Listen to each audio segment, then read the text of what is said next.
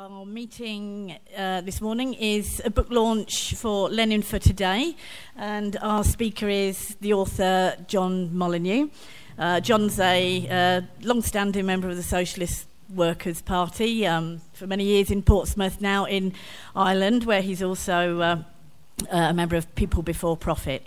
Um, and editor of the Irish Marxist Review, which is on sale here at Bookmarks. So I'll uh, ask John to speak now.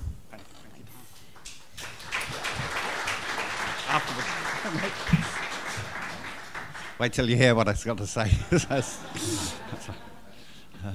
um, uh, right, first of all, I, I, it's lovely to, to, see you all. I have to say that the um, new uh, Irish Prime Minister, the Taoiseach, as they call him, Leo Varadkar, will be delighted to see you all here. He said in his election campaign for the leadership that he wanted to represent people who got up early in the morning. So, uh, so well, well done, well done all. Right, um, to business. Um, right, uh, the, there's no doubt in my, in my mind, my view, that uh, uh, Lenin is the greatest revolutionary. Uh, he, he was the greatest theoretician after Marx, right? and by a good head, the greatest revolutionary practitioner, the greatest revolutionary leader that uh, we have yet seen. Um, but my book is not about that. All right? It's not about that because it's been said very eloquently by other people. Uh, George Lukács, in his book on uh, Lenin, a study and the unity of his thought, which was written in 1924, just after Lenin died, says there, rightly in my opinion, that uh, Lenin was the only theoretician equal to Marx yet produced by the movement for uh, proletarian emancipation. Uh, Trotsky, writing about Lenin, compared Lenin to Marx and said Marx, when the end of the day, was the author of the Communist Manifesto and Capital. You put everything else aside, Lenin was the author of the Russian Revolution. Obviously, these are, this is when you reduce something to one sentence, but he was trying to say how great he thought Lenin was. And Tony Cliff, in his great four volume biography, particularly volume one on building the party, says that there Lenin raised the unity of theory and practice to a higher level uh, than anyone else. I agree with all that. That's all been said. That's not why I, I wrote the book. Um, when my partner Mary and I were walking through Athens, in passing, we saw graffiti, and the book starts with this. We saw some uh, graffiti on the wall. It said, um, fuck May 68, fight today, fight now. And May 68 was very important to me. It was when I became a revolutionary and so on. I was in Paris in May 68. It was the last thing. But I nonetheless, it was in the spirit of that that I wrote the book. The book is about, de- deliberately about the relevance of Lenin today. That's, that's what, and it's, make, it's an argument. It's not a biography. It's not an uh, account of everything Lenin said or did doesn't even attempt to be, it is an argument that the core propositions of Lenin are necessary for uh, uh, uh, us today. So, the, for that reason, the book does not start with Lenin either in 1893 or 1917. The book starts uh, with the world today. It starts with an argument about why we need, as never before, a revolution. We need an international revolution. And uh, I won't go into that much because I want to concentrate on the Lenin aspect of it today. I won't go into that much. But the, uh, the arguments for this are straightforward and I think overwhelming. Even though they're not widely accepted, they are that we live in an increasingly impossible world for people. A world of soaring inequality that is producing mass anger. Uh, a, a, world of increasing uh, international uh, and military instability, which threatens barbaric wars, a, war, a world that is increasingly displacing people, and producing a refugee crisis on a scale humanity has never seen before, and a world which is unsustainable uh, uh, environmentally because of uh, climate change and numerous other environmental uh, crises. If we do not resolve this problem, uh, and I believe that only revolution can resolve that problem. If we do not resolve this problem in the foreseeable future, I mean, you can't by nature put dates on these things, but if we don't resolve it in the next generation or so, the question of socialism or barbarism will be posed more starkly than it ever has been before, more immediately, in, in, uh, in my view. Perhaps I'll come back to this at the end. So we need revolution, and once you talk about needing global revolution, then we are talking necessarily about international workers' revolution. The only force on this planet which can defeat and overthrow the forces of the giant corporations that rule the world and the states which are allied to them, the power of US imperialism and the numerous other uh, uh, powerful states in the world, all armed to the teeth and backed by the immense wealth of global capitalism. The only force that can do that is the uh, international working class. Uh, a class that now exists in its hundreds and thousands of millions from uh, uh, you know, Santiago and Sao Paulo to, uh, above all, uh, to uh, Shanghai, Canton, Guangdong, China, and so on. Uh, and, and all places in between. That is the social force that has the potential to defeat the enemy we're talking about. So that's, the, that's where the book starts, and that's the argument. And then the argument is that Lenin makes decisive contributions towards that. Now, um, the I should say, it's worth saying in this context uh, what that means. Um, it is, in a way, against the stream. Right? The stream at the moment, a very welcome stream, very important stream, uh, is towards left reformism. The brilliant Corbyn phenomenon, the phenomenon of Sanders in America, the phenomenon of uh, Podemos in Spain, an international uh, phenomenon, which you know, uh, we as revolutionaries are, should be absolutely uh, enthusiastic about in relation to. I'll come back to that point uh, uh later. But the argument of the book is that we need to go beyond that. That is not in itself I- enough. Uh, all right. Look in one, one line. Look what happened to Syriza in, in Greece. Much more to be said on that, and I'll come back to it. But the argument is that we need to, to go beyond that, and it is Lenin, in certain important respects, who holds the key to going beyond that, because Lenin was committed to international working class revolution from beginning to end. It's very striking when you read uh, Lenin, by the way, how whenever he makes a statement of any significance, it is always linked to the fate of the Russian Revolution, to the international revolution. When he arrives at the Finland station and makes his a speech, he arrives at the Finland station in, in April 1917. He talks about what's happening in Russia but he ends with, Long live the International Socialist Revolution. And that's oh, every, every speech that Lenin made that was of importance to the masses or to the party comrades or whatever has the international revolution. The international workers' revolution is absolutely at the center uh, of everything did. Right. But of course, the international workers' revolution was Marx uh, before it was Lenin and was the common currency of uh, Marx, Rosa Luxemburg, Karl Liebknecht, and so on. What did Lenin add specifically that is crucial? Three things I want to emphasize here. And those three things, I think, define Leninism. They uh, and are crucial for Leninism today. They are uh, uh, his theory of imperialism and war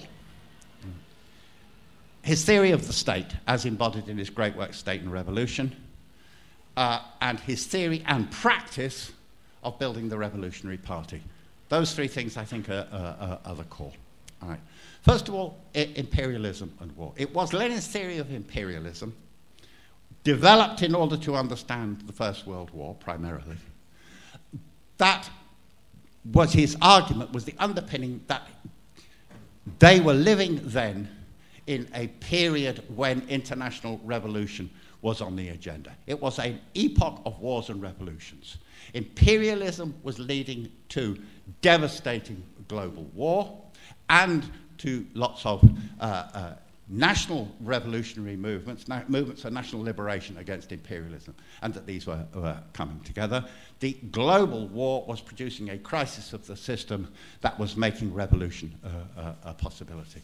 That was uh, his uh, uh, argument then. All right. Now, there is a long economic debate about the exact nature of imperialism and so on, to, to which Rosa Luxemburg contributed, Bukharin contributed, before that, Hilferding, uh, and so on. I'm not going to go into that now. That's a meeting of it uh, uh, uh, uh on its own and so on. But the politics of it, uh, the, the key, and the key for us now. Of course, the world economic system has changed dramatically since then in all sorts of ways. Again, that's a whole meeting. A brilliant article, by the way, uh, by uh, Chris Harman called Analyzing Imperialism, and a book by Alex Callinicos, Imperialism and Global Political Economy, goes into, in, into, all, uh, uh, into all of that. But when all is said and done, certain things remain, right? And they're clearly the case. That we have a world economy, a world system, as never before. That we have the domination of that world economy by giant corporations, uh, uh, uh, as never before, and by great uh, imperial state powers that are linked to those uh, corporations and are, part, part of this. Couple of arguments are, are very important here. Um, in this, the first uh, is there was an argument, particularly by the globalizers, that, and sometimes on the left by Hardt and Negri and so on, that uh, this was a global economic system that was somehow detached from states, that state power didn't matter in this, uh, right? That the notion of that Lenin had, had argued of the relationship between imperialism and the state no longer applied. This was dis, disembodied, had no national territories, and so on. I, I, Lenin was right then, and it's true, true today. This argument is wrong. It is not the case that the giant corporations don't need the state and are not related to the state. Actually, think about it. If they open a supermarket, they need the state because otherwise the poor would come and loot the supermarket. You know, they wouldn't exist for, for a day without the state power, and they certainly wouldn't be able to operate on a world scale in the Middle East and everywhere else. Uh, uh, without it. So that's one argument, and Lenin is right on this. The second uh, argument that has existed is there's now only one imperial power. Since the collapse of, of the Soviet Union and so on. The argument has been that there, there is now one global, global superpower, America, and everybody else is uh, not imperialist and so on. Again, this is, I want to say, factually wrong. Lenin's view of imperialism as a struggle between competing imperial powers is still uh, uh, relevant. Uh, I, I, would argue that uh, Russia, Putin's Russia, is an imperialist power. China is an imperialist power and will become more so. And there are also an important role because of the weakening of America's global uh, power, not its strengthening. There will be increasingly important role played by various sub-imperial powers, uh, you know, like Saudi Arabia and Turkey. So they've now got more room for freedom of maneuver uh, than they used to at the height of the Cold War and so on. What does this mean? This means that imperialist conflict, military conflict, is likely to increase. Uh, we see this all the time in the catastrophe of the Middle East, but we will see it, uh, I think, increasingly in the next decade or so, uh, and the American strategists think the same uh, in the South China Sea as, as, as China becomes stronger and asserts itself more uh, militarily and so on. And that, of course, would be on a scale much greater than anything we've experienced. So, consequently, the core of Lenin's arguments still apply in terms of our need to fight imperialism, fight imperialist war, oppose our own imperialisms first uh, uh, uh, uh and foremost, and to, to prepare for revolutions to, uh, to, to uh, overthrow. Lenin was also uh, profoundly correct in his understanding of the need to support national liberation movements. Uh, and you see this is incredibly important in innumerable places around the world. Uh, most obviously, the most obvious example would be Palestine. But Lenin's analysis of the right of nations to self-determination provides a guide, not a copybook because circumstances change, but nonetheless a guide, a starting point for understanding the question of Scottish independence, for understanding the question of Irish unity, for understanding the Catalan question, the Basque, numerous different parts uh, of the world uh, uh, where that applies. Okay, next point, most important, the question of the state. Uh, when Lenin broke with social democracy, which was over the war, because the majority, the large majority of international social democracy, and until 1914, Lenin thought of himself as a social democrat, as did Rosa Luxemburg and so on. Uh, when they broke over the question of the war, because international social democracy support, supported the First World War, supported the imperialist slaughter, supported their own governments in that slaughter, Lenin pretty soon noticed a fundamental difference between them, even the sort of orthodox Marxists within uh, German and international social democracy like Karl Kautsky, a difference between them and Marx on the question of the state that people hadn't noticed in the preceding period. The, if you were to read Karl Kautsky on the question of, uh, of the state and the other people who constituted the so-called orthodox Marxist center, they accepted uh, Marx's idea that the state, the present capitalist state, that the state was a capitalist state, it wasn't neutral, it defended and supported capitalist interests, that that state would have to be overthrown, uh, that you would need to make a transition to a worker state, and so on. But what they believed was that it was possible to capture this state, in particular through winning a parliamentary majority, but also maybe through a revolution, uh, and then take over that state and use it to construct socialism. Lenin said this is not what Marx said. You look carefully, you'll see that from the time of the Paris Commune onwards, he added a footnote to the, uh, to the Communist Manifesto and so on that said precisely the opposite. You cannot just take over the existing state uh, operation. The working class cannot use the existing capitalist state to create a new order. And this became the core point of his book, State and Revolution, which was written, the notes for it was written in, uh, uh, in 1916, and then the book itself was produced under extraordinary circumstances while he was in hiding uh, from the uh, counter-revolution uh, in Russia just before the insurrection, and then he breaks off and says, "I'm sorry, I can't finish the book because I've got to do do this uprising, you know." And that's good. it's an extraordinary book. But in this, he goes through uh, uh, everything that Marx and Engels said about Satan, shows that this is their central argument. And uh, the question then applies does this apply today? Uh, and I, will, I argue in the book that it does apply today. And that you see it above all, actually, not if you discuss it just uh, abstractly, it's true, abstractly in general, but you pose it concretely, and it becomes very, very clear. Are you actually going to be able to take over MI6 and transform it? You appoint a socialist head of MI6. and, uh, and he or she, probably a she these days, it would look more effective if it's a woman, uh, but a, so, a woman socialist, he make Diane Abbott, head of MI6. right. uh, she probably would be nominally as Home Secretary, and then MI6 will turn into uh, an instrument for workers' emancipation. You know, you, you uh, point, um, Bernie Sanders wins the American presidential election, and he appoints a series of, I don't know, I can't think of the American equivalent of that, Diane Abbott off the top of my head, but, you know, to be the head of the NYPD or the LAPD. And then they stop killing black people on the streets and start helping the workers' picket lines. No, it doesn't.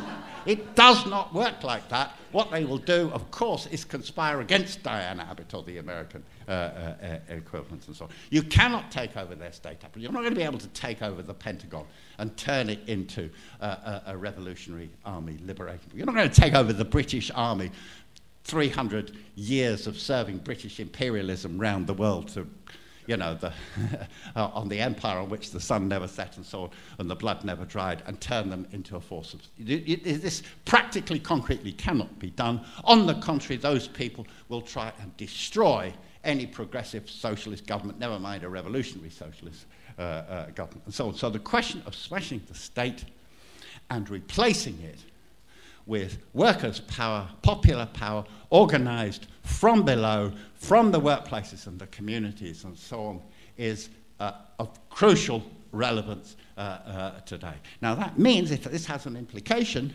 it means, again, and I repeat it, that much as we welcome and want to relate to the Corbyn phenomenon, much as it's wonderful that everybody sings, oh, Jeremy Corbyn at Glastonbury and so on, and it's fantastic and it's transformative. I'm not being sectarian about this, but it does mean our goal is to go beyond that. Uh, uh, uh, right. Um, the third, um, oh no, I should say, I'm sorry, I was in danger of talking too long on these things. I should say that I discuss in the book a series of criticisms alternative positions to, to uh, Lenin's view uh, on this. I just got about five, but I'll mention two here because they're influential. One is the Foucault critique, because you encounter this all over the place. The Foucault critique says the problem with Marxism and Leninism is that it thinks that power is concentrated in the state, and we are more sophisticated than that. We understand that power exists everywhere. Right? It exists in the office, in the school, the teacher has power over the school kids. The head teacher has power over the teachers. It exists in the hospital. The consultants have power. It exists, your office manager has power over It's everywhere in the society. It can't be just located in the, uh, uh, in the state. And therefore, what we need is a series of guerrilla struggles against all these powers and, and so on. I'll say uh, two, two things about this. Uh, first, at a, at a practical level, and then at a deeper philosophical level at a practical level. Of course, it's true. Teachers, head teachers, uh, consultants, office managers have bits of oh God, uh, have bits of power, uh, uh, uh, and so on. I'm not going to make that. I'm sorry. No chance. I tell you, they have bits. Of, they have bits of power, but right. but in a revolution, you see that's true. In a revolution, a coup d'état the Egyptian coup d'etat that crushed the Egyptian revolution was led by General al Sisi, by state power, not by office managers or doctors in the hospitals. I'm not saying they don't have power, but in a revolution, what counts is state power. And that's what Lenin is talking about, and that's what we're talking about a revolution. So, state power is concentrated on an incredible scale. You can't destroy the working class movement by, with, with a, a series of, uh, of dawn raids by consultants.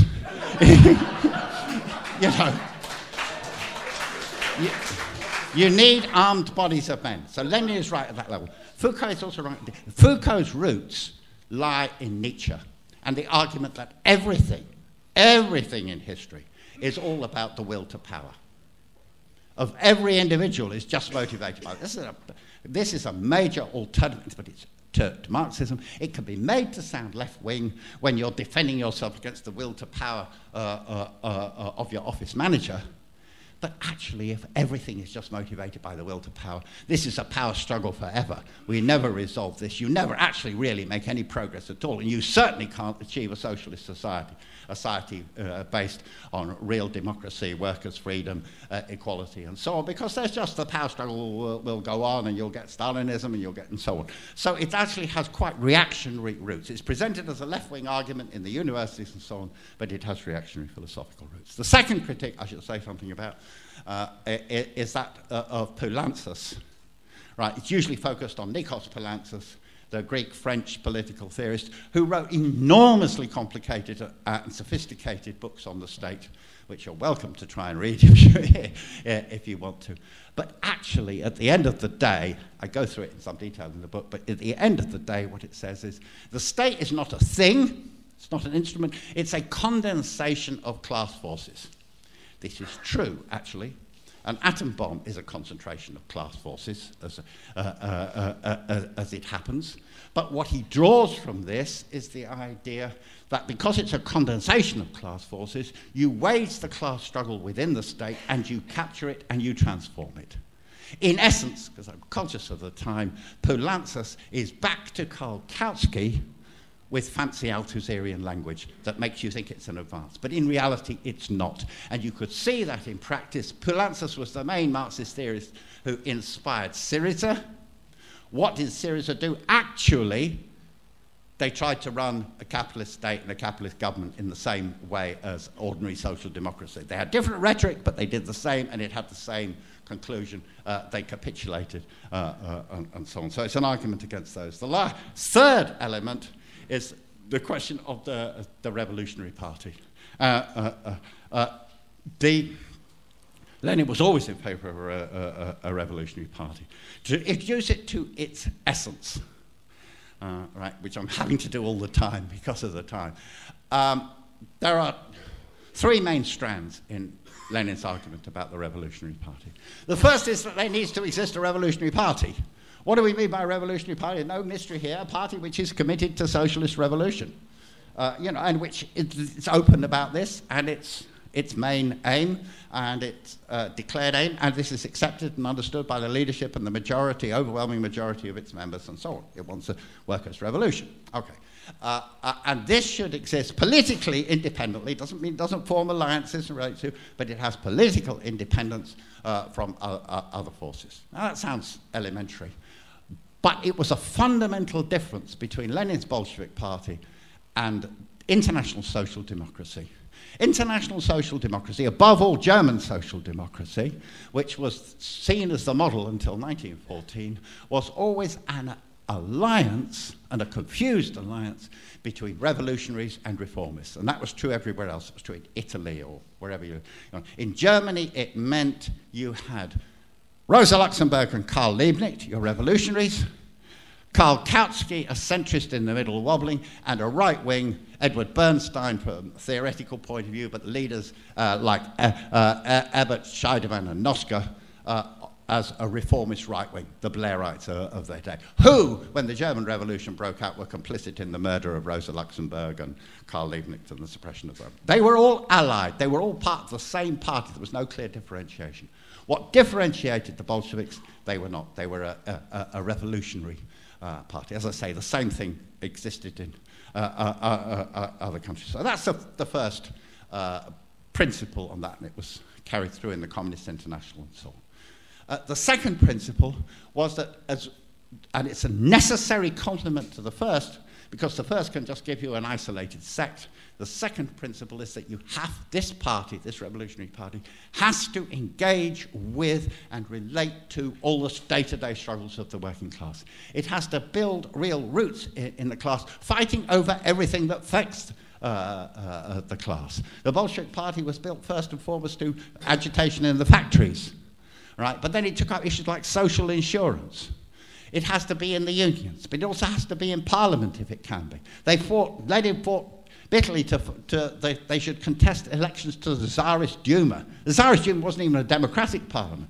He said, we've got to use this because we've got to speak to people. You used everything you can to relate to uh, uh, the actual workers' struggle. When uh, uh, Zubatov set up police trade unions and so on. They tried to relate to the workers in the police unions. You work in reactionary trade unions. You work in communities. You work wherever you can to relate to the actual uh, uh, uh work, working class. And that is the dialectical complement to the uh, existence and independence of a, a, revolutionary party. You can't, you can't have one without the other. You just end up uh, with a sect. And the third point, again of great relevance today, and this was elaborated in what is to be done, and usually missed in the, everybody concentrating what is to be done was Lenin an elitist and so on on the basis of one sense. The main point about what is to be done is that revol- to be a revolutionary, you have to be a tribune of the people who fights all oppression. Lenin gives the examples that apply crucially in Tsarist Russia. You have to defend, he says, religious minorities, for example. Interesting point. But the Bolsheviks did. They defended uh, the Muslims, they defended Christian sects who are being uh, uh, uh, oppressed and, and, so on. You have to fight all the, the struggles of the, uh, the oppressed. Women, uh, anti Semitism, big issue. If anybody, you want to see what the, how they did that, that you can Google Lenin on anti Semitism. There is a speech, it's three minutes. It is a model, an absolute model. How, in three minutes, you explain to the Russian masses why you have to fight anti Semitism uh, uh, uh, uh, and so on. Now, just on, on, this, so Lenin was saying this in 1901, right? Because there's a tendency to say this is, we only learnt this in the 60s or the 70s or something. Uh, etc. No, Lenin was saying this in 1901. And if you take ideas like intersectionality and privilege theory and so on, Lenin has everything that is progressive in all that. He has it or, or already. He understands this, the, but he goes beyond that, and he goes beyond it in an important way because he says you're fighting all these oppressions, but you're fighting these oppressions from the standpoint of the working class. Right? To unite all the oppressed in an alliance which is led by the working class not led in an authoritarian. The working class leads the struggle in practice to defend all the oppressed, especially in the case of Russia, the oppressed nationalities.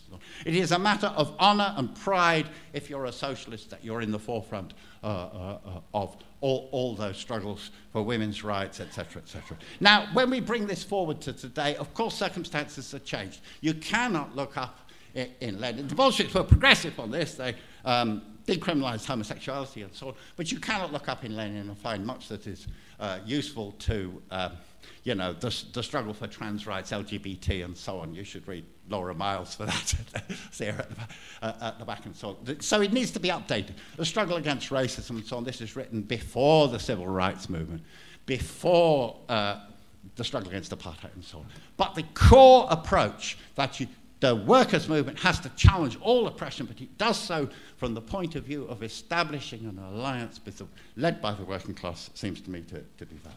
And, right, oh, good, that's not too bad. Right, so all of that. Now, uh, um, all of these ideas, I, I argue, are really, really useful for revolutionary practice today. More than useful, essential for revolutionary practice today. Without them, uh, you don't have serious revolutionary practice. The idea that I think is the most challenging and the most difficult for us at the present time is the question, and I, think this is true internationally, uh, is the question of relating all this uh, to the, the, working class movement. We, we can all see that you had, to, to our surprise, to all our surprise, very pleasant surprises, uh, we saw the phenomenon of Sanders in America, right, coming uh, not supposed to be possible. But suddenly you have someone who's an avowed socialist challenging for the leadership of the Democratic Party. They predictably stop him and go with Clinton instead. But nonetheless, a mass movement developing around this, mass rallies and so on. And you see that coming on the back of great struggles like Black Lives Matter and Standing Rock and the Occupy movement be- before that. You see um, big struggles in the Arab Spring, you see the Occupy movement coming out of that, Podemos and so on. But in all of these, let's be honest, and I could give many other examples. It's true in Britain too, with the Corbyn phenomenon and so on. In all of these, the Leninist ideas I've been talking to, uh, they may sound common sense to you, I don't know, I hope they do. But all of those ideas are marginal in, in, many, in many countries. Most countries, they're marginal. They're, they're you know, not regarded as the zeitgeist of the current movement, which is much more, you know, broad alliances, uh, intersectionality, all of those kind of different uh, uh, approaches. And this is something that we have to, I think, think very seriously about how we address. If it is true that the clock is ticking, if it is true that we are going to face the challenge of socialism or barbarism in in a very, very real way. Because climate change will produce enormously more refugees. If you have an enormously more refugees, how are you going to respond to them? You're going to respond to them like Marine Le Pen, or are you going to respond to them in a socialist way, and so on? This, this is, if we face more wars and more terrorist attacks and so on, these questions will become uh, very, very real. And more anger in the world at the inequality and austerity and so on. Who's going to articulate? These are very, very real questions. Therefore, we have to talk, I think, seriously about how Leninism can be made real, a real force uh, uh, uh, uh in, the, in the world today. And I think it means, and I think we can learn from Lenin here, it means several things. I think first, first of all, it means we have to engage much more in popular agitation in working class communities. Second thing I think is very, very important uh, in this, I think social media has become very important. I think our movement has been slow about this. I learnt about social media first, I remember, in the Egyptian revolution when I talked to Mahienour El-Massry, people may know the Egyptian revolutionary woman, about how they, she said, we took down the, uh, um, the police headquarters torture center in Alexandria. I said, how did you She said, we did it on Facebook. Now, and then, in, in, in, you know, we put out a call on Facebook and everybody turned up. I thought, what? This is 2000. I had no idea about that. You know, I'd have thought you gave out a leaflet. But that's how they did it. I thought, well, you, you need to learn something here. You're missing a trick here. This is, you know, I know you go on Facebook and there's people talking about their cats and their breakfasts and good luck to them. But I thought, no, no, no, this, this is, you've got, you've got to uh, learn something about that. Uh, and then I saw in Ireland in the water charges movement, the water charges movement was in part, not only, organized on Facebook in working class communities. Networks of working class people organized to resist the meters being put in front of their houses on Facebook. Now, uh, and in the Corbyn election campaign, you saw great use made by that campaign of Facebook, of videos, of memes, and so on, which created an alternative space to the space dominated by the vile and horrible media abuse that Corbyn was uh, uh, suggesting. Now, I do not, I haven't become converted to Paul Mason and the idea that in the beginning is social media. That's the core. No, no, no, no, no, no. No, no, please don't. I hope nobody would caricature that and explain to me that it's class forces and mass struggle. Of course, I understand that. But that's not a reason for using, not using a tool you know, uh, Lenin understood, uh, to go back to the example, that it was class struggle that produced the Russian Revolution. It didn't mean he wasn't in favor of using cinema and, you know, as a, a weapon to, of propaganda uh, uh, uh, and so on. So I think that we need to up our game, and, and all of us need to learn how to use it. You know, we, I don't think, you know, just as back in the day I learned how to work a Gestetner, I was going to say I was taught by Cliff, not literally, but you know, he made the point. I believe you have to know how to use a gestetner, comrade. You know, and all that ink like, talking about and, so on. and give out leaflets at the factory. Revolutionaries have to learn how to use social media for uh, uh, uh those purposes. Okay, I'm gonna yeah, I'm gonna wind up. Um, like, there's a load more to say uh, uh, uh, about this, but we have to find, and this needs to be. I haven't got time for it. I think to be a Leninist today, we have to have a serious discussion about how, if you were in America, you could relate to the Sanders phenomenon, how we can relate to the Corbyn uh, phenomenon uh, here. Because, I repeat, and I make no apologies for repeating, the clock is ticking. We do not have another hundred years.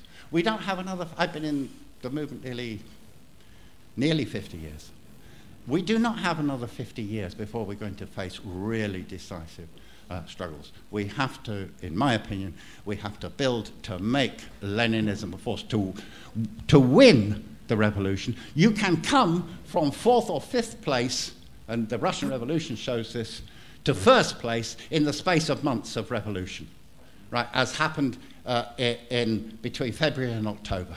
But you have to be at the races, right? In Germany, in the 1930s, the Trotskyists were not at the races. There was a hundred of them in Germany.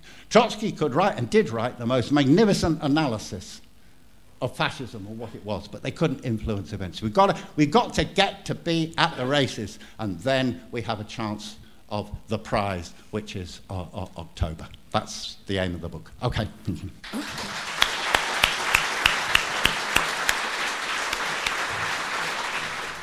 So I had the privilege of reading John's book uh, slightly before publications, and I really want to take the opportunity to encourage comrades to buy it, to read it, and also to encourage younger and newer socialists within the movement, in the Labour Party or to, to the SWP, to, uh, to, to examine the book. Because I think what John does incredibly well in the, uh, in, in, the book is to explain how Lenin could be an extraordinary revolutionary leader precisely because his practice and politics were rooted in a detailed understanding of Marxism. And he puts across really how uh, Lenin was able to develop and uh, expand Marxism, to take Marxism and Engels' original writings and to uh, not use them as a dogmatic set of quotes which he endlessly repeated, but to apply them to a living, breathing, changing, uh, changing situation. And that comes across brilliantly in the book. And I think it's a lesson that we can learn today. You can't, for instance, write about imperialism or national liberation struggles or, or, or revolution in the 21st century without actually looking back to what Lenin said, what Lenin did, what Lenin wrote, when he was right and, and when, when he was wrong. And I think that comes across well in the book. And the other thing I think John does excellently in the, in the book is to examine Lenin's practice as a revolutionary. You see, I, I was struck rereading the stuff about 1917 for the centenary and, and, and, and in John's, uh, John's chapter on it, the way that Lenin was able, with the Bolsheviks, to transform the political situation when he arrives back in Russia in 19, uh, April 1917. He does so not because he's, got a, a great, brilliant ability to speak to people or he's just got a great analysis of the situation. He does it because he's relating to an, a, a, a mass organisation of workers who are engaged in revolutionary struggle.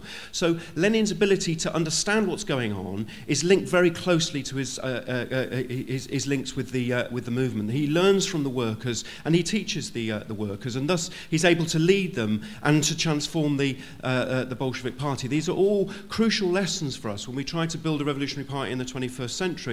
Understanding and relating to that mass movement, those hundreds of thousands of people who are voting for Corbyn and talking about, about socialist, socialist ideas, what we can do is to say to them, not in a patronising way, you've come so far, let's, let's go further, further together. That's precisely, I think, what, what Lenin does in, uh, in 1917. So I really want to, to encourage buy it, read it, sell it sort of thing with this, uh, with this, with this book. It's a book for, for the 21st century. It's a book for a, a new movement of socialists who are starting to grapple and understand the ideas that John talked about, about the state, about capitalism, about how it works, how it operates, about the challenges that will face the, uh, the movement. We've got a lot to learn. We've also got a lot to teach.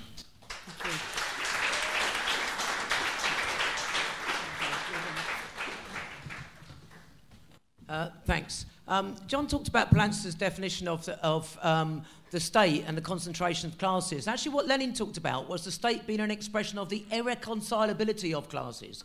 In other words, it is there to defend one class against the other. And when we talk about a revolutionary party, a revolutionary party is there to fight for the working class against the ruling class. And therefore, it's not a broad church. The party is not a broad church. There is a sense in which we want to be a broad church. We want to be young, old, gay, straight, trans, non binary, men, women, black, white, young, old, teachers, public, etc., etc.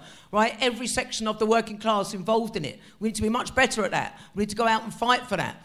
But actually, we need to, on politics, we are not a broad church. We are, we are quite self consciously fighting for the working class. And that means a number of things. It means standing unconditionally with the oppressed, maybe sometimes questioning, but actually unconditionally on the side of the Palestinians, unconditionally on the side of Muslims being attacked on their way um, home from mosques and, uh, uh, uh, and so on, unconditionally with everybody who now wants to seize the time, smash the pay freeze, bring down this rotten government. We're not questioning the politics of the people that we go and stand on the picket lines and demonstrations with. We're with them and we're fighting alongside them, but we do doing it to build a party and an organisation that will fight for the ideas of socialist revolution and the working class within that. And one of the ways in which we do that, actually, I think John is absolutely right that we all need to be much, much better at using social media and we can all learn from that. But what do people say about Socialist Workers' Party? Oh, we see you everywhere. You're always there selling your papers. You're on every picket line. You're on every demonstration. I'm going to go to be going to Pride later. I'm not going to be there to dance and have a party. I'm going to be there selling Socialist Worker. Pride should be a protest. It should be about fighting back, fuck the commercialisation of pride that we all hate. This is why I'm going to be going down there. And one of the things that we need and, and, and that is an argument needs to be organised, and the paper brings together all the different strands of it for people. And I, I'm, I'm not taking away from what John said about social media, but don't, you know, we do need to make, we need more people out there helping us with that task. You all have something to offer us in terms of us learning how to fight the class struggle better. We have something to offer you in terms of making your fight for socialism more effective. And therefore, if you're not in the Socialist Workers' Party, the main lesson of what John is saying is please join. Uh,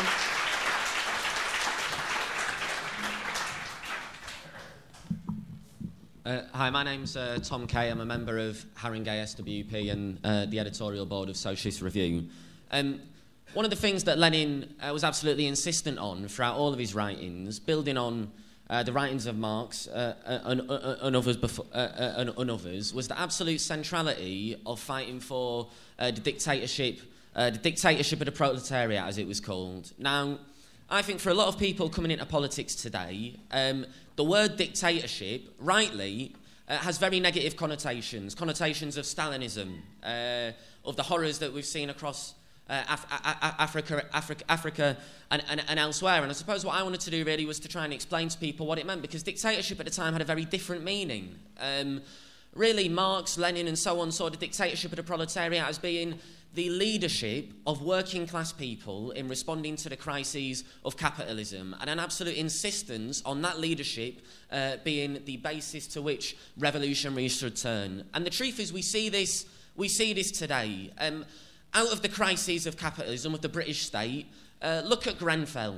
Uh, a horror, uh, clearly, but I think one of the most inspirational things about Grenfell was the sight of thousands of working class people from around the country and from around London flooding into Kensington and responding to the horrors caused by our government. We should be clear who is dealing with the crisis in Grenfell? It isn't Sir Martin Moore-Bick or whatever his name is. It isn't Theresa May. It's ordinary people. When capitalism goes into crisis, ordinary people are, respond, uh, uh, are forced to respond by the fact that if we don't, uh, we, we have to, we, we are forced to, uh, to that, to, you know, to, uh, uh, to that, to that, to that, to die, and so on. And, you know, I think ordinary people are clearly trying to respond to the crisis that exists on a general level in society at the moment.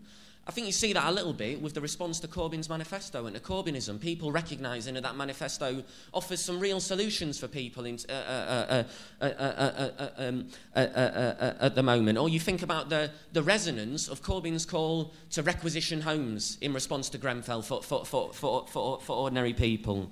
Um, but a question for us, right, and a question for members of the Socialist Workers' Party isn't just about how you shape a debate rhetorically within the Houses of Parliament, but it's about how we turn those questions solutions into practical solutions of, ordin- of, of, of, working class people, about using the question of, of politics and the state. Is that two minutes or yeah, three minutes? Two. two. okay. Of politics uh, uh, uh, and the state to shape to give confidence to, to reinforce, to deepen the movement of ordinary working, uh, working, working class people against the horrors of capitalism. So I think the questions for us today, Leninism today, is about how do we build a housing movement which has the confidence and the strength to requisition homes, to squat in response to the housing crisis that exists in London? How do workers break the pay freeze uh, in a way which isn't just about 2%, which is about smashing the idea that we have below inflation pay rises and how the people across the fast food industry not just get uh, £10 an hour in 2020 if Corbyn wins, but get £10 an hour today. How do we respond to the rise of the far right and continue to undermine the attempts of the political centre to whip up racism? And really, they're the questions that the Socialist Workers' Party and Marxism Festival we want to try and resolve. You know, Corbyn, and this is where I'm finishing, raised the slogan for the many uh, not the few. I think we have to think about a different mantra, which is about saying, by the many and against the few at the top of society who refuse to give us an inch.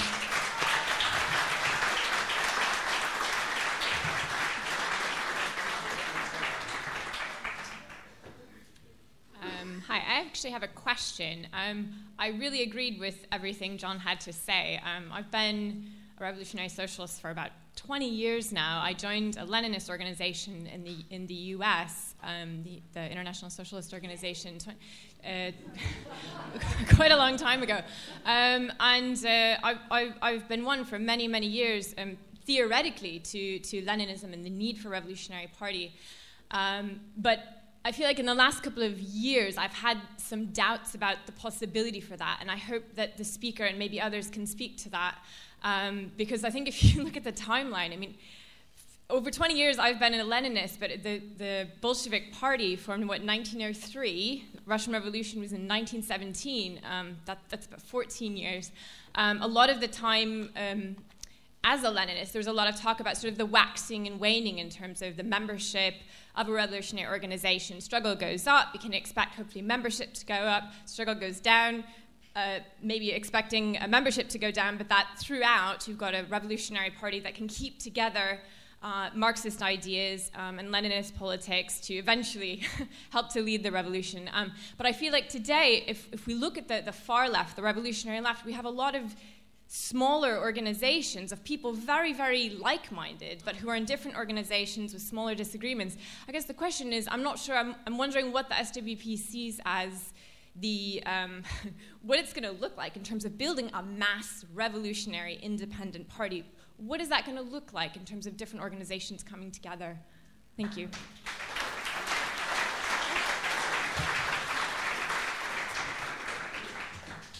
Uh, after this, comrade, uh, comrade uh, in the blue t-shirt towards the back, who put his hand up his neck? Oh, there you are. Sorry. Hi, just sort of following from my speaker. Um, I uh, got the book What Is to Be Done. It's like a little small book, isn't it? It's about a second-hand shop. I read it, and it's really interesting. But he was talking about 1903, I think it was. Uh, what is to be done? All right, yeah.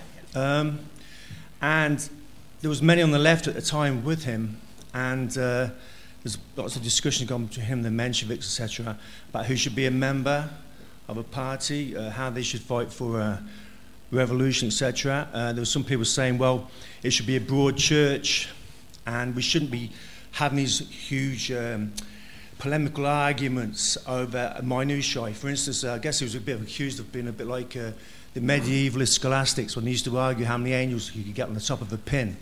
And they were saying, well, the bigger picture is the most important thing, not these like minutiae that you're concentrating on, that Lenin was concentrating on. So basically what I want John to sort of say is that today many people on the left accuse uh, Leninism of being anti-democratic, etc., etc., and the people who have said that Lenin, Lenin absolutely was democratic. So if you could maybe clarify those issues when you come back to do the uh, end notes. Yeah. Thank you. after, after this, comrade, it'll be you, yeah, and then. Yeah, I, I noticed that John's book has a, a little two page postscript right at the end about Lenin's personality, and I just wanted to pick up on that because I was really glad to see that there. It's not the most important thing, but I think it needs to be in there. One of the lines of attack against Lenin is about his personality, as in they like to present him as a cold blooded, you know, ideologue and so on and so forth. And I think it is important that we you know, argue the cliff Lenin, the political Lenin, and most of John's book, but actually there is, there is a human Lenin, which we shouldn't let them get away with stealing from us as well. And uh, Krupskaya's memories of Lenin, I think, is very useful for this. She tells this wonderful story wherein, I think it was something like 1901, Lenin's in exile and they're trying to build the Bolshevik organization, and this comrade comes and visits them, and he's young and he's very excited, and he says, Oh, yeah, you know, we're really doing well in Saratov or wherever it is, and, you know, we've actually set up three or four committees a committee for education, a committee for propaganda, a committee for finance, and Lenin says, This is wonderful.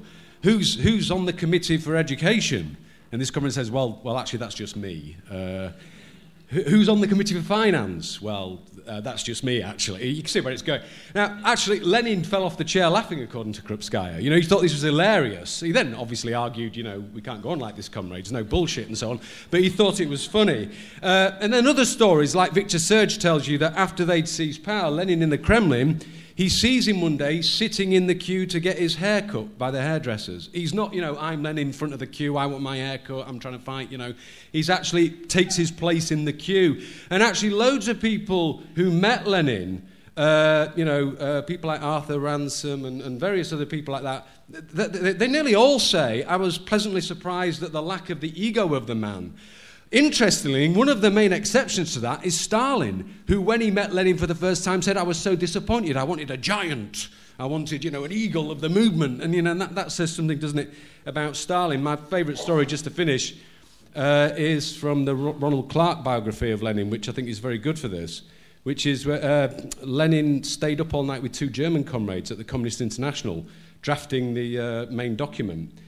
And the German communist says in his memoirs, he says, you know, we were up all night and we were getting really tired and really struggling. And Lenin started actually to realize this and started to make us laugh and tell jokes. And then we finally finished it and the sun was coming up and we said, oh, you know, we've got to go to bed now. And Lenin said, but there's all the meetings now coming up in the day. He said, take my advice, comrades. What you do is you go home, you have a hot bath, then a cold shower, a spot of breakfast, go for a walk, and then you can get through the meetings all day.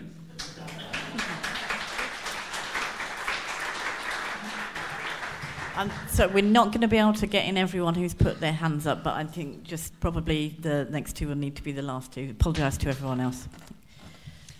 Um, thank you. I just wanted to thank John for the sort of last point that he was making, because those of us who do spend too much time, maybe sometimes on social media, perhaps find ourselves getting into debates with others who are from a slightly different tradition than our party, who are quite critical of our approach to not supporting Assad because America is worse, for example, or um, our position that we've supported the Corbyn campaign but said you sort of support and vote for Corbyn but continue the fight. And they've actually sort of been saying that the starting point should be to get rid of groups like the SWP because we're sort of intellectuals and bourgeois and get rid of the Labour Party because it's racist to its very core and and that therefore you can start a revolution because it's the workers, which actually is the same idea that we would have, that the, the fight has to come from the working class. But actually, this idea that you don't meet the class where it is and then give that sort of leadership and the arguments to take it forward towards revolutionary ideals actually is crippling. And we have to be fighting for this idea that you take where the class is, you talk to them about the ideas that they already have, and you see how you can push them towards the views that we would argue are necessary and important. So I wanted to thank John for that conclusion because it summed it up much better than I can. But thank you.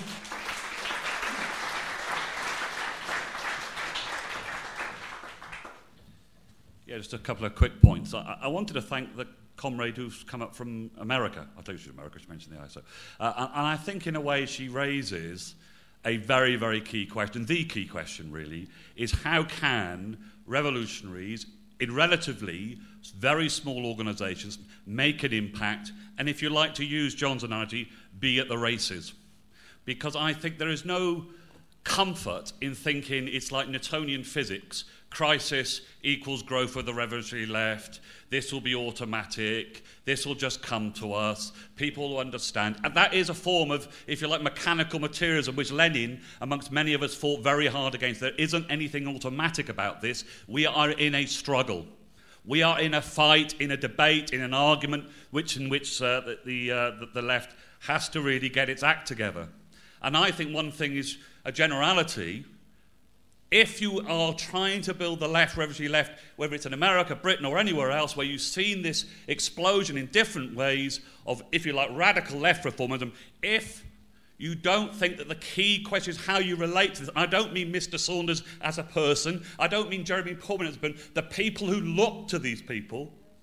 And in Britain, this is millions. That's the scale of it. You see, even since the election, Labour has gone up, I don't know, is it 7% in the polls? I think 6, 6 7, 8% in the polls. Think about it. That's probably about 5, 4, 5 million people have shifted in weeks. Now, how does the revolutionary left relate to those people? How do we start to get an audience? It seems to me, yes, it's about explanation. Yes, it's about a clarity of politics. You have to have the clarity on the question of the state. You have to have clarity about imperialism. But if you're just that, and I'm all for that, then actually there's a mismatch. We have to be able to articulate the anger, but articulate what needs to be done. And then what is needs to be done isn't just at the end smash the state, all for it. What is needs to be done tomorrow, the day after, the day after that? How do we break the pay cap? How do we smash that? How do we take on the housing crisis? How do, do we take on austerity? How do we combat racism? How do we take on the far right? All of these questions, we have to articulate a very concrete set of demands. And I think we have to get back into that tradition. What do we do to move with large amounts of people? And I think we have to have a vision. When Lenin said in 1914, we're in an epoch of wars and revolutions. I suspect the following. People understood they were an epoch of wars because it was happening. They probably didn't think it was an epoch of revolution because there was none happening. He was right. We are now in an epoch, I believe, of wars and revolutions. It won't simply be a rerun of 1914, but the crisis inside society, in the world global system, is very deep. And the last thing is the global climate change disaster is of a magnitude which I now think is becoming apparent to millions and millions of people. And that is going to pose a question socialism or barbarism. The barbarism may be war as it was in the past, and it may be in the future, but it could be absolute catastrophe for the large amounts of humanity on this planet. And therefore, we are in a race. We're in a race, and we have to relate to and have a vision of relating to large amounts of people. No longer can the revolutionary left be satisfied with talking to small amounts of people. We have to actually make a, break, make, a, make, a, make a break, and therefore, what is to be done in that sense remains totally irrelevant today.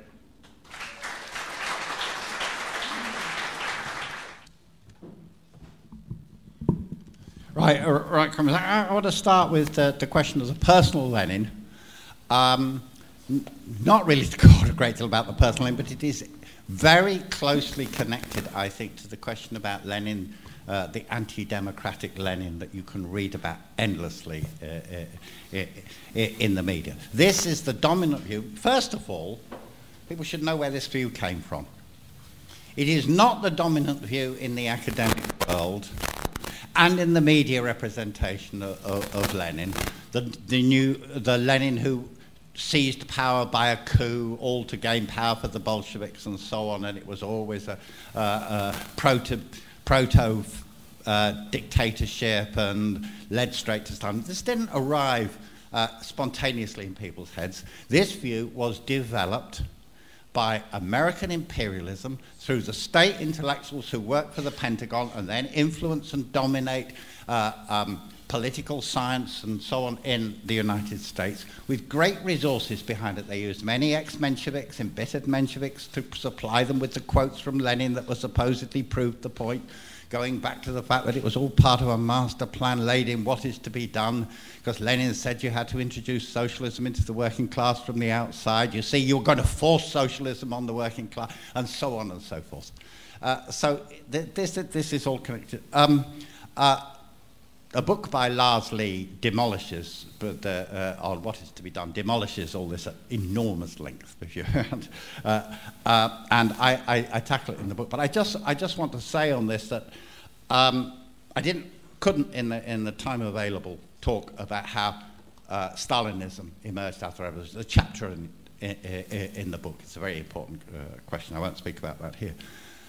But one of the things that reading Lenin strikes you when you actually read what the events are is that from the beginning, from when he started factory agitation around the Thornton's factory in Petrograd, right through to the end, he had an organic relationship to the working class, a real, living, organic uh, uh, relationship. Quite different from Plekhanov, the founder of Russian Marxism, couldn't actually relate to real flesh and blood workers. Not so Lenin. And uh, um, go, this, this leads, I mean, I could go, go through at some length the, the formally, the democratic character of the Bolshevik Party.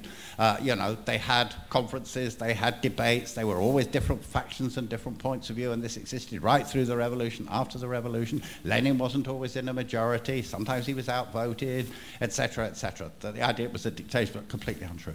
There's something that's more involved here, and that is how Lenin learned from the working class. You see, uh, um, uh, Martin Empson said, talked about, again, this dialectical relationship on the one hand, you're using Marxism to inform the movement. On the other hand, you're also using the movement to inform Marxism. And Lenin is a master of this. And it, it, there's a lot of people say, oh, we have to learn from the class. And then you, well, what? What are you actually learning? But with Lenin, you can answer that question. For example, there's this wonderful passage where he's trying to analyze the July days uh, uh, in Russia. And he said, I was calculating the forces and so on. And then I was in hiding with the, in this uh, worker's house, and he put bread on, on the table. And he said, Ah, he said, they have to give us decent bread now. They can't give us rotten bread like they could before. And Lenin says, That's how the worker. And I learned from this because the workers' class instinct told them we haven't been defeated. We've still got them on the run. We can still go forward. It's very, very important. He was learning that from the class. He, Lenin learned about the Soviets and the role of the Soviets in 1905 from the workers. It wasn't, it's not in the books. Marx doesn't mention them. Right? A lot of Bolsheviks, when the Soviets first emerged, said, oh, who are these Soviets? Aren't they getting in the way of the party? Lenin said, no, we need the Soviets and the party. And he learned it from the Russian working class and so on. And in late 1917, in September and October, the leadership of the Bolshevik Party was reluctant about organizing an insurrection. What does Lenin say to them? He says, You've got to do it, you've got to do it. We don't do it now, uh, the whole revolution can be ruined, etc. And he's, he, he threatens them. He says, If you don't agree to do it, I am going to go to the sailors. And he won the argument, just he won the argument for the April thesis, not because he was cleverer than Zinoviev and Kamenev. He was, but that's not why he won the argument. He won the argument because what he was saying, he was learning it from and relating it to what the workers in the Vyborg district and the sailors of Kronstadt were saying. What he was saying fitted with what they wanted to do. So that dialectical uh, uh, relationship is abso- uh absolutely uh, crucial there. Now, like uh, Hugh Williams, who spoke, I was uh, very struck uh, uh, by the, the, the, question. Actually, before I come on to that, I want to just say about the anti party mood. You know, there was, particularly in 2011, but it's still there, that we don't need parties, we don't need this, etc., etc. This sounds very left wing, doesn't it? You know, we're going to have spontaneous revolution, we don't need parties. It's interesting that the moment. Is that me? I think it's the mic. It was doing it yesterday. Hello? Yeah, I have problems with the mic. But the lifts don't work, the mics don't work. It'll be better under socialism. right. The, the, um, um, oh God, I lost where I was. I was, I was the anti-party mood.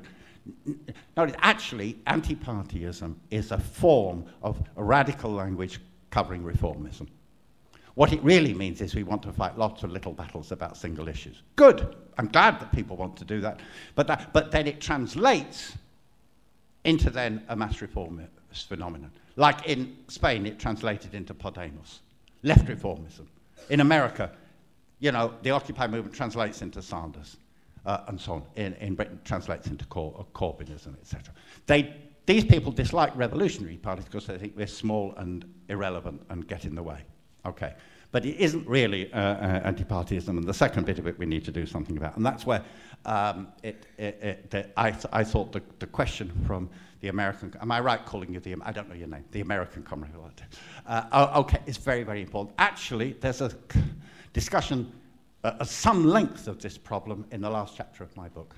It is a fact, uh, and it's a fact we have to uh, uh address. Um, right, now, in part, fundamentally, this is an objective problem. Right, it is a problem that lies deep in the defeats that the working class movement suffered in the 1930s. We suffered two great world historic catastrophic defeats. One of those uh, was Hitler and fascism, which destroyed the most powerful workers' movement in Europe and cast a shadow over the 1930s uh, completely. 1933. Tony Cliff used to call 19, uh, the conquest, the victory of Hitler and the Nazis in Germany, he used to call it the October Revolution of the fascists of the right. It, it was. So there was that huge de- defeat. And a defeat like that does not radicalize people. It produced the support for the Popular Front and, uh, uh and so on. The, the other defeat, even worse in terms of long term consequences, was the counter revolution in Russia. Um, you know, sad Stalinism that gave us all such a bad name, in the words of the uh, uh, um, ABC of socialism, but which, again, has cast a historic shadow over the, the, whole movement. And this drove authentic revolutionary socialism, the revolutionary ideas of Marx, uh, of Lenin, of Trotsky, and so on, to the margins. It's symbolized in the tragic figure of Trotsky, uh, you know, who went from addressing millions and leading millions to holes in the wall and addressing meetings of where this would be a mass meeting and so on, uh, uh, uh etc. And since then, the revolutionary movement internationally has been struggling to recover. We made serious uh, uh, strides in repressing after the fall uh, of the Berlin Wall and the collapse of communism, but that was widely seen by people as a defeat for the left as, uh, as well. So it was not a simple uh, uh, question. And uh, the post-war boom made, made it hard. So that, all these are objective uh, factors. But there are also subjective factors involved. Because if you exist marginalized from the movement, Trotsky was always railing about this, the people you exist in that, you can get comfortable in that situation and you develop habits of just talking to each other and so on, not of addressing the people outside and so on. So it needs a, a, a, a conscious, a conscious res, uh, uh, response to it. I stress the use of social media in this, uh, uh in, in, the, uh, in the present situation. I mean, our experience in Ireland is quite recent experience. But we have been able to make some effective use of social media. We produce an alternative TV. And it's very simple. It's actually just, you know, a couple of comrades who do a sort of rant on TV. but, but we call it alternative TV, puts our point of view. And uh, some of them, you know, when we get the right issue that connects, get something like 70, 80,000 views. Now, I'm the, I understand the importance of the paper. I wrote for uh, God knows how many years for the British Socialist worker. I can't remember how many years it was. I wrote a regular column, and I edited the Irish Socialist worker. But I tell you, uh, you know, we never had a sale in Ireland of 70,000 or 80,000. You know, you can reach people uh, in that sort of way. So we need to learn how to, to, to do it. Um, there's uh, another question here, which is language. You see, um, Tom spoke and explained at this meeting about what the dictatorship of the proletariat really meant and, and so on. Good, you can do that at a meeting of Marxism. You cannot do that at a street meeting to resist the water charges or to resist, or to fight over Grenfell. Don't start with Lenin said about the dictatorship was what it meant was no, no. You need, a, you need, now in what we did in, in Ireland, see, you know, these things fit you. I'm not, I'm not saying do what we did in Ireland, because if you were in Turkey or in Egypt or you're in China, you have to find something that fits there. But what we talked about was people power. Right? People power. We need to fight this with people power. People power fitted what people understood. I know it's not quite as good as workers' power, but you can say we need people power and workers' power when it's appropriate. You can move from one to the other, but we talked about people power. Uh, uh, right, mobilization from below, and our goal is people power. We need a different kind of democracy. A democracy. That was a way of talking about those same issues in language that people understood. And in the Great Water Charges movement, people marched in their tens of thousands in the street shouting, Enda, that's Enda Kenny, our former prime, Enda in your ivory tower, this is called people power. So the, the slogan was popular. It reached hundreds of thousands of people. Okay? Now, it's not as good as getting them to read State and Revolution, but it's a step in the right direction. And we produced a pamphlet which explained this. It was called People, Power and Real Democracy. You, and, and, and, I repeat, this is not you do the same or anybody else should do the same. You have to learn how to do it to fit your situation. I remember reading in Egypt in the Egyptian revolution, the bulletins produced by the Egyptian revolutionary socialists. It was a strange language to me. I'd not seen it. But they found a language for arguing Marxist politics in relation to the language of the Egyptian uh, uh, uh, revolution. A lot of stuff about martyrs and so on. Good, fine, uh, because that, uh, uh, that fitted. And this leads to one more point. Um, it, it, it was raised by Sue, Sue Caldwell, um, when she says, and I made the same point, you know, that the Revolutionary Party is not a broad church. The Revolutionary Party is not uh, an alliance of revolutionaries and reformists. It's a revolutionary party. And it is a broad church in terms of uniting all, you know, black and white, straight and gay, all, all that sort of thing. Yeah, yeah, yeah. That's all that's true. But in a situation where the revolutionary left are a tiny minority in the society, and this is where we are um, almost everywhere, like in the United States, uh, for example, but also, you know, it would be true in France. It was Mélenchon who was successful, not the revolutionary left. It'd Be true in Germany. it'd be true uh, in the Far East. Yeah, you want me to? It's okay. Uh, this is my last point.